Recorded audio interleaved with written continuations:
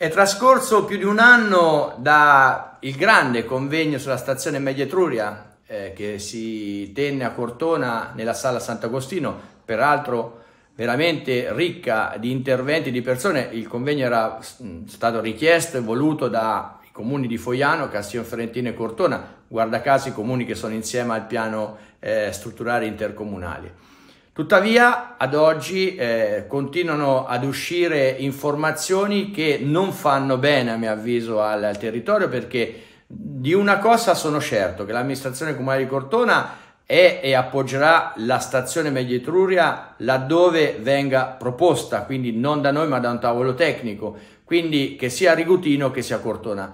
Se noi non poniamo veti agli altri, non vorremmo neanche che i stessi vengano posti su Cortona, quindi su Creti. Non è difficile leggere tra le righe di questa dichiarazione del sindaco di Cortona, Luciano Meoni, una certa stizza per quanto affermato dal sindaco di Arezzo Alessandro Ghinelli in tema Medio Etruria. Per questa amministrazione comunale, scriveva Ghinelli nel suo profilo pubblico, non c'è storia, la migliore collocazione per la stazione ad alta velocità è Rigutino. Con il ministro Matteo Salvini c'è un filo diretto, prosegue Ghinelli. Dal giorno dopo il suo insediamento gli ho suggerito di non dare una lettura politica della questione, ma che siano i tecnici del ministero a gestirla. Sul tema ci sono prese di posizioni forti della regione Umbria. Sulla soluzione in località Creti non registro altrettanta fermezza come sarebbe necessario da parte della presidenza regionale toscana su Rigutino. Inutile dire che il sindaco di Cortona è di parere contrario.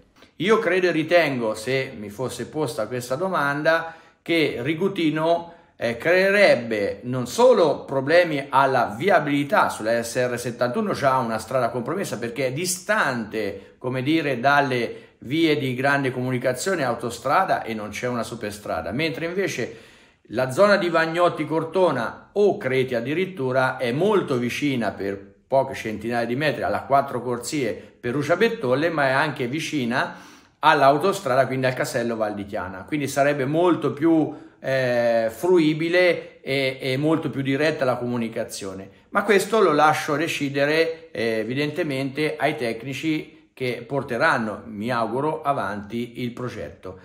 Dire che la stazione va costruita dove c'è ferro su ferro, ecco, anche questa è una sciocchezza a mio avviso, perché voi immaginate fare una stazione perché insiste ferro su ferro. Allora io sono un eh, cittadino di Perugia, devo andare a Milano, prendo il treno da Perugia per venire ferro su ferro a Rigutino e salire sul Frecciarossa. Il tempo che perdo da Perugia, perdere da Perugia verso Rigutino equivale alla tratta da Rigutino a, a Milano con il treno Frecciarossa. Quindi è un qualcosa che non sta in piedi.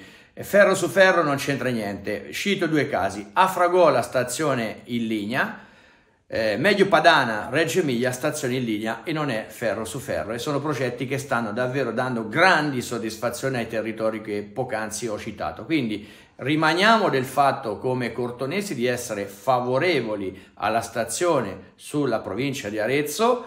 Se i tecnici dimostreranno che sarà meglio Rigutino, accetteremo di buon grado Rigutino se diranno che è meglio Creti, non vogliamo veti aretini su Creti perché evidentemente Creti è anche più baricentrica quello che è Siena e Perugia. Aspettiamo con ansia e soprattutto saremo disponibili ad offrire un nostro contributo.